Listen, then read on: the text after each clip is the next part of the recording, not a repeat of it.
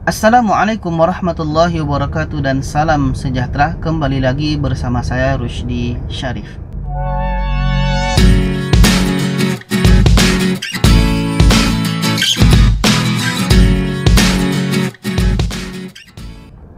Baiklah penonton sekalian, pada kali ini saya akan share satu video yang mana video ini uh, sangat menyedihkan lah ya Terutama bagi kita orang Islam Karena Islam ini mengajarkan kita supaya bertutur lembut Berkata-kata yang sopan, menyebut apa yang pantas dan meninggalkan apa yang tidak pantas ya. Tapi dikarenakan karena hanya pemikiran sesat. Saya katakan pemikiran sesat ya karena uh, apa yang dia sebut ini tidak beralasan dan tidak sesuai dengan fakta.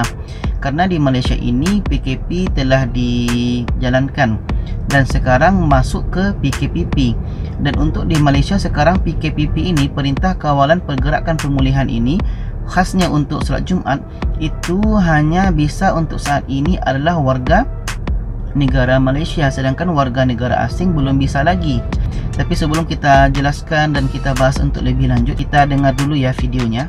Assalamualaikum warahmatullahi wabarakatuh. Semua kawan-kawan insyaAllah sihat dan baik. Okey, hari ini saya ter Hari ini kan hari Jumaat. So saya tak faham kenapa orang nak solat tak boleh masuk masjid. Kalau nak masuk masjid kena ada IC Kalau tak ada IC you tak boleh masuk. Apa benda ni? Kau pergi lain-lain negara tak ada benda macam ni tau. Kau kalau nak solat semua orang boleh masuk tak minta IC pun. Ke Malaysia ni saya tak faham Government ni buat apa.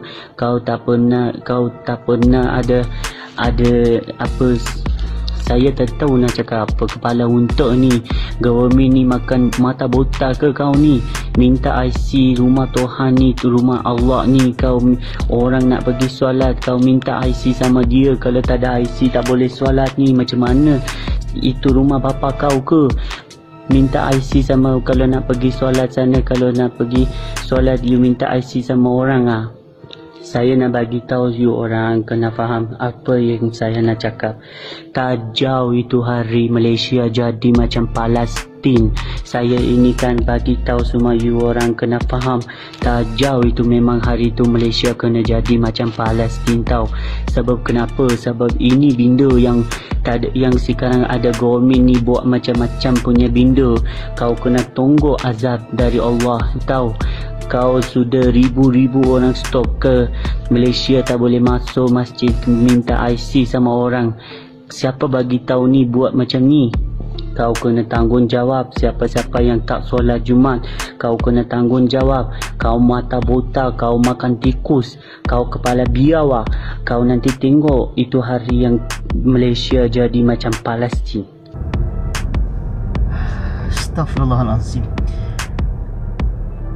dia mengumpat dia menyebut apa yang dia suka aja kan? Aduh orang mana lah ni? Hai teman-teman sekalian penonton sekalian.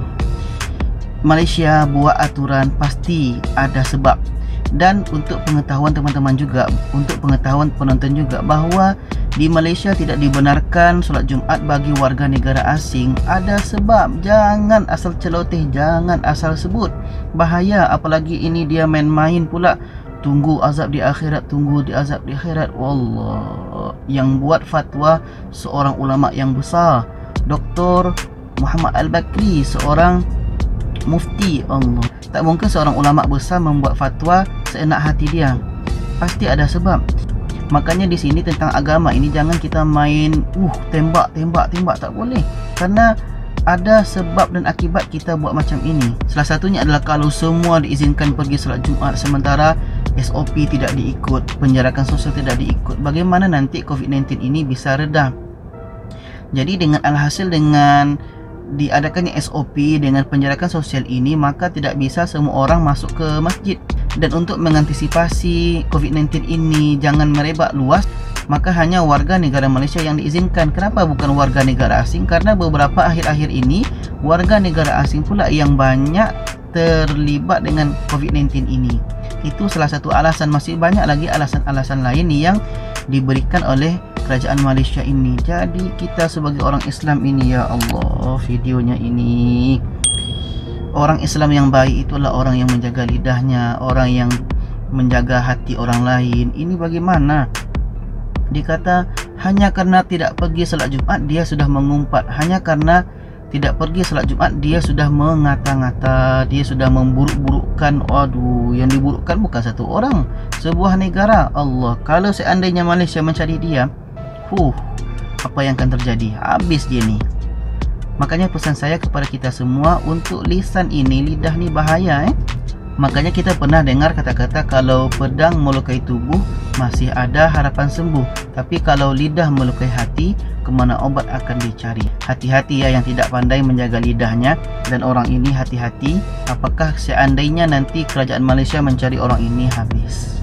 Badi sudah. Dan untuk saya pribadi, saya pun dah lama tidak pergi salat Jumat. Semenjak PKP bulan 3 sampailah sekarang, dah 3 bulan lebih saya tidak pergi salat Jumat tapi saya faham dengan keadaan apa yang terjadi di Malaysia. Makanya kita jangan main menerobos hukum sendiri ya, apalagi dengan mengeluarkan kata-kata seperti ini Allah. Kita doakan dia ini diberikan hidayah oleh Allah yang diberikan petunjuk oleh Allah. Mudah-mudahan dia dibuka pintu hatinya untuk memahami apa yang terjadi ini. Dan kita sama-sama berdoa apa yang kita alami sekarang ini cepat berlalu. Kita patuhi SOP dimanapun dan kapanpun. Kita ajak orang lain untuk patuhi SOP kita ajak keluarga kita untuk patuhi SOP dan kita ajak semua orang untuk patuhi SOP karena dengan cara inilah kita bisa terlepas daripada COVID-19 ini. Dan akhirnya jangan lupa share video ini kepada yang lainnya supaya lebih ramai yang tahu. Terima kasih. Wassalamualaikum warahmatullahi wabarakatuh. Assalamualaikum warahmatullahi wabarakatuh. Semua kawan-kawan insyaAllah sihat dan baik. Okey, hari ni saya ter hari ni kan hari Jumat so saya tak faham kenapa orang nak solat tak boleh masuk masjid. Kalau nak masuk masjid kena ada IC, kalau tak ada IC you tak boleh masuk. Apa benda ni? Kau pergi lain-lain negara tak ada benda macam ni tau. Kau kalau nak solat semua orang boleh masuk tak minta IC pun ke Malaysia ni saya tak faham government ni buat apa. Kau tak pernah kau tak pernah ada ada apa saya tak tahu nak cakap apa kepala untuk ni. Government ni makan mata botak ke kau ni? Minta IC rumah Tuhan ni tu rumah Allah ni. Kau orang nak pergi solat kau minta IC sama dia. Kalau tak ada IC tak boleh solat ni. Macam mana?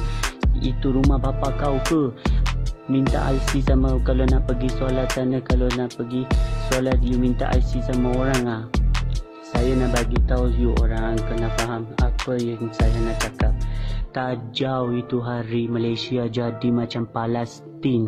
Saya ini kan bagi tahu semua you orang kena faham.